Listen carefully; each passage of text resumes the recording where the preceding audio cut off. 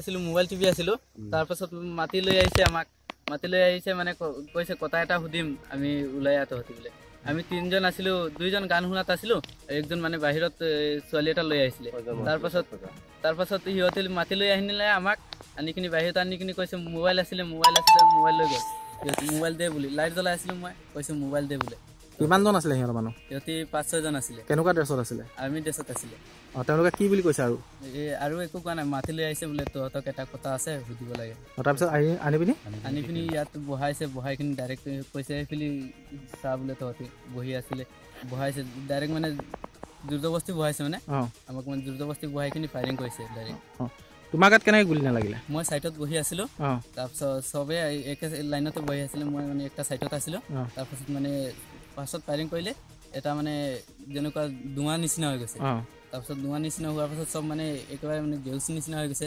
তাৰপাছত মই বি পৰি গ'লোঁ চব পৰি গ'লে ফায়াৰিং কৰিলে।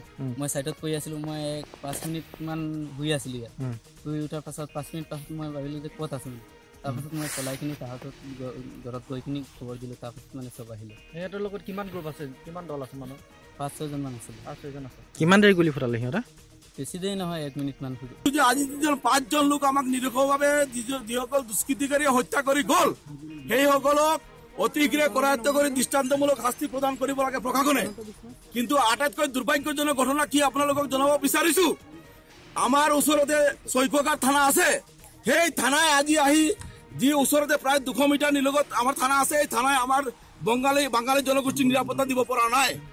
আৰু আমি অতি দুখেৰে জনাব বিচাৰিছো আৰক্ষী প্ৰশাসনক আমি ধিক্কাৰ জনাব বিচাৰিছো যে যিসকল আৰক্ষী বিষয়াই আমি জানিব পাৰিছো যে এই ঘটনাটো হোৱাৰ পাছত এই আমাৰ ইয়াৰ পৰা যিখন থানালৈ ফোন কৰিছিলে ফোন কৰাৰ পাছত তেওঁলোকে চুইচ অফ কৰিছে মোবাইলটো বন্ধ কৰিছে।